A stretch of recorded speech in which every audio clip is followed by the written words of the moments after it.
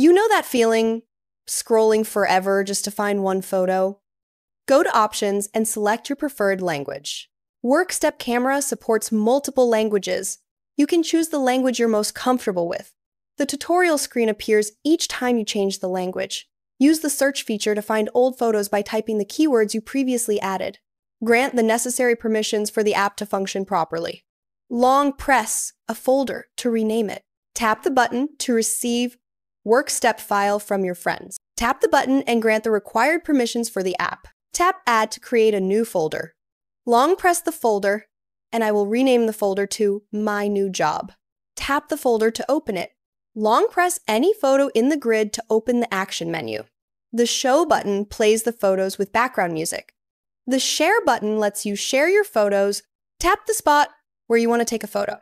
After capturing, the photo will be saved exactly in the position you selected. Long press the position where you want to place an image to open the action menu. Select the option to add photos from the gallery. Choose the photos you want and add them. Press and hold the image you want to move, then select the target position to move it there. Next, try the copy function. Select the image and the position where you want to place the copied image.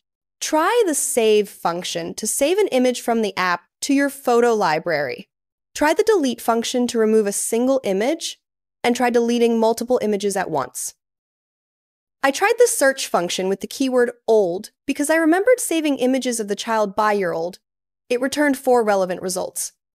I clicked on a result, and it took me to the images where I could view my child growing from two to five years old. I tried a more advanced search by entering the full phrase, happy child learning to ride a bike with his parents, and then search separately using the keywords child and ride. This feature is very useful for finding photos you've noted, whether it's a formula sheet, a design, a trip, or a meaningful moment. WorkStep Camera also lets you share content, share photos with friends, export reports in Excel with images embedded, or share in WorkStep format. It doesn't just share single images. You can share a full story with photos and text notes in sequence. Sharing and storing everything is easy, the show slide function lets you revisit meaningful and emotional photos set to music. Press and hold the music icon to grant the app permission. The function panel lets you customize comments, select your favorite songs directly, or choose a folder containing the music you want to play.